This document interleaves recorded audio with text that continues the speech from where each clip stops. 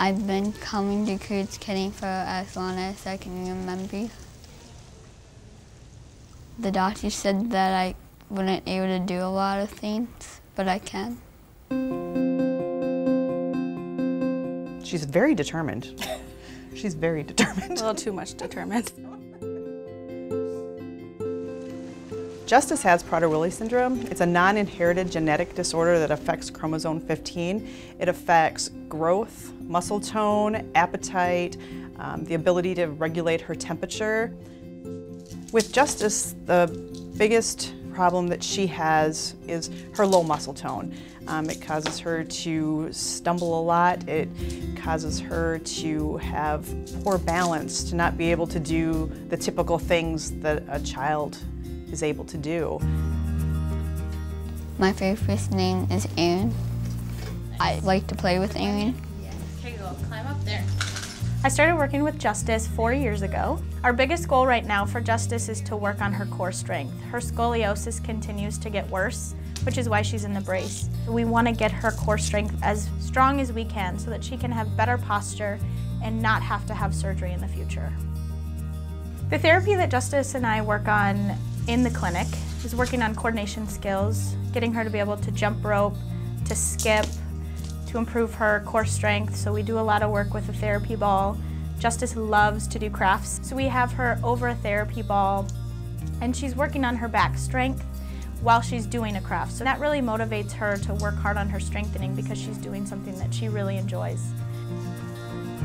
Justice and I in therapy have been working on our multi-layer swing, and that swing is really fun for her because she has to use every single muscle in her body to be able to climb through the different layers.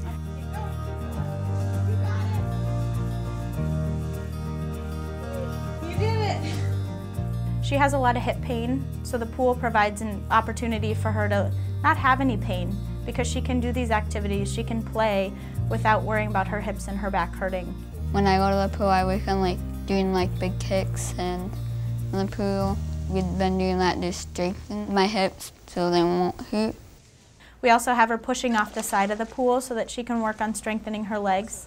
We also work on improving her abdominal strength.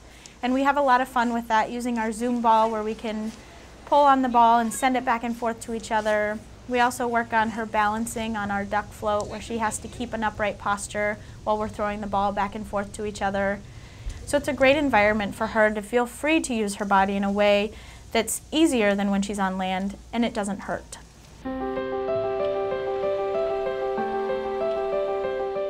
If I don't go see Aaron, my back starts to hurt and my neck hurts and then I and I also miss Aaron. Aaron and I are friends.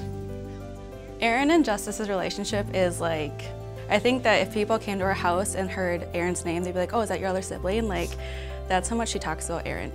She's learned to trust me, and I have such a great time when I'm with her.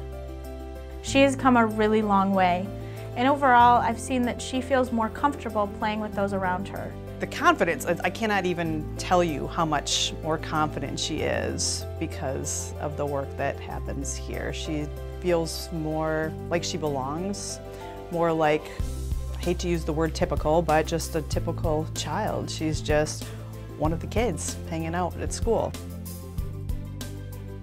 Justice now can ride a bike and she can just do like a lot of things that normal kids do that she wasn't able to do before now.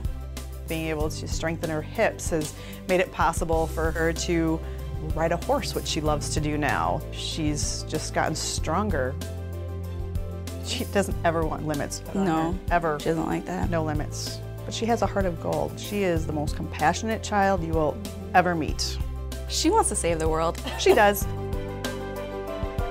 We go to South Africa and she loves the children and we go and we'll make food and we'll feed some of the kids that are in orphanages and different areas and she hugs them and loves them and she really just deeply cares.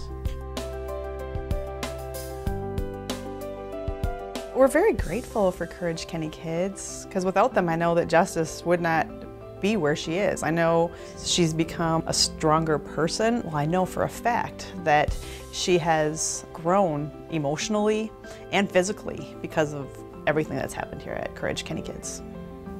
And she's happy. She's so happy. She is happy. she is happy, which makes me happy.